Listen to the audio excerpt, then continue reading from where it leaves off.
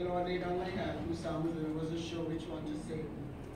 Okay, last night I sent to Jackie, I said, okay, I think I'm going to do this one and people need the Lord. Sorry I wasn't able to practice. I was running around and time got Every day they pass me by, can see it in their eyes. Empty people filled with care, heading who knows where. On